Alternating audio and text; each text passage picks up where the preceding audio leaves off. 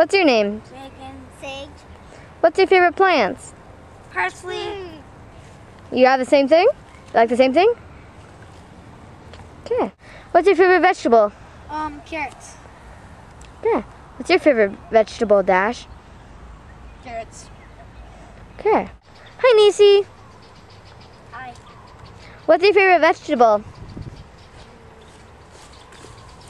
Broccoli. You like broccoli?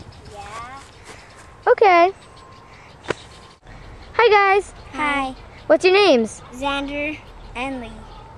What's your favorite vegetable? Um, broccoli. Pumpkin. Ooh, that sounds yummy. Hi, what's your name? Kama. Hi, Kama. I'm Marin. What's your favorite vegetable? Pickles. Oh, I think pickle, pickles are sour, aren't they? Yeah. Hmm. They're still my favorite vegetable. Wow. You must really like sour things. My favorite vegetable, I think, would have to be asparagus. Really? Yeah.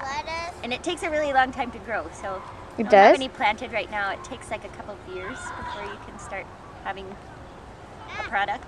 So we'll have to find a spot to put that and then let it go for a while. Whoa, I never knew that asparagus took a couple years to grow. Yeah. Oh, thank you. That's new. I didn't know that. Yeah. You learn a new thing every day. Salad greens and carrots and beets. Beets are one of my favorites too. And I love lilikoi and mangoes and blackberries. Mm, I like blackberries. Yeah.